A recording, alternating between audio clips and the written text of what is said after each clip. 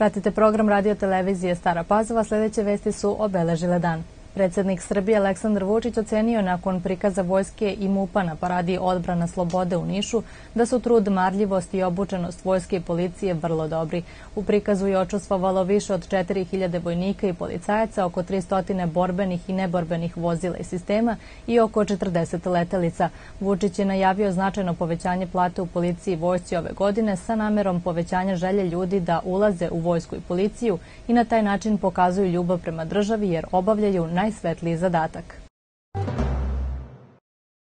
Šef delegacije Evropske unije u Srbiji, Sem Fabrici, izjavio danas da je za ulazak Srbije u Evropsku uniju potrebno da se ujedini celo društvo, vlast, opozicija, privreda i narod. Takođe izjavio da kosovske vlasti moraju da ukinu takse na srpsku robu kako bi se nastavio dijalog Beograda i Prištine i kako bi došli do sporazuma koji treba da bude održiv i prihvatljiv za oba naroda. Pokrajinska vlada izdvojila je milion dinara za projekat Staropazovačke opštine koji se tiče strateškog značaja za lokalni i regionalni razvoj, izrade projektno-tehničke dokumentacije za industrijske zone i izrade studije izvodljivosti za strateške projekte.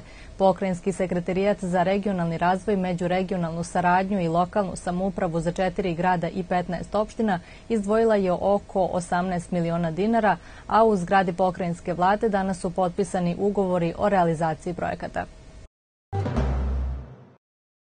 Službenici policijske uprave u Sremskoj Mitrovici u saradnji sa policijskom stanicom u Staroj Pazovi i Ministarstvom unutrašnjih poslova Republike Srbije održali su predavanje maturantima sve tri srednje škole u Staropazvačkoj opštini o prevenciji nasilja, zloupotrebi alkohola, opojnih droga i bezbednom učešću u saobraćaju.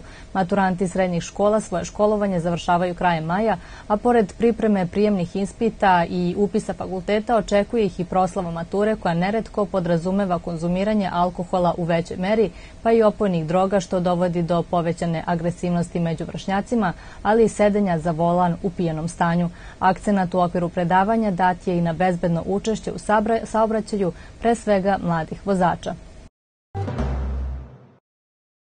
Na svečanosti povodom nedelje Crvenog krsta opštinska organizacija uručila zahvalnice dugogodišnjim saradnicima, predstavnicima srednje škola, Domu zdravlja, Udruženju Tatamate, medijima i nagrade najuspešnijima na likovnom konkursu na temu Krv život znači.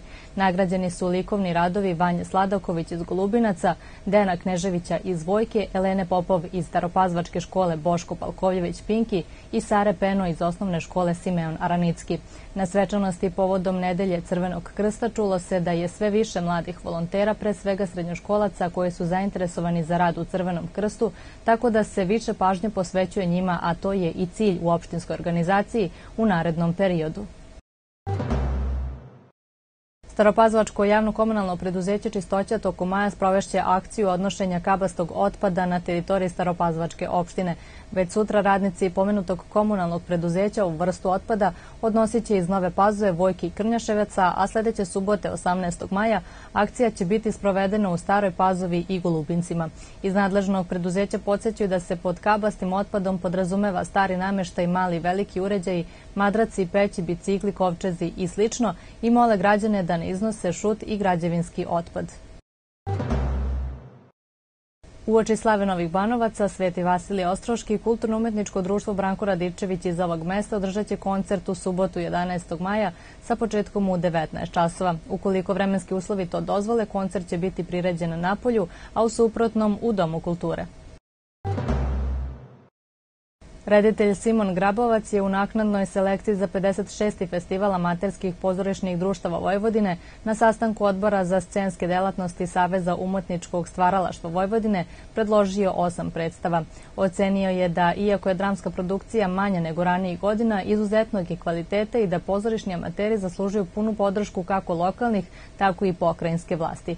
Na festivalu koji će biti održan u Staroj Pazvi od 17. do 25. maja, pored predstava Đavolje Čardaš Stare i sve o ženama iz Nove Pazove, nastupit će i ansambli iz Kule, Crvenke, Kovina, Šida, Uzdina i Sivca. Učenica Staropazovačke osnovne škole Boško Palkovljević Pinki Aleksandra Havran u kategoriji pionira osvojila je zlatnu medalju na osmom prvenstvu Srbije za osnovne i srednje škole u streljaštvu koje se održalo u Smederevu. Takmičenje je okupilo oko 300 mladih strelaca koji su se nadmetali serijskom vazdušnom puškom. Organizatori prvenstva bili su Savez za školski sport Srbije, Savez za školski sport i olimpijsko vaspitanje Smederevo i streljačka družina iz ovog grada.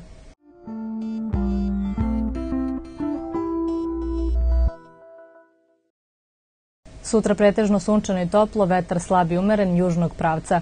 Najniža temperatura 7 do 12, a najviša od 20 do 24 stepena. Bile su to najvažnije vesti. Hvala na pažnji i prijatno.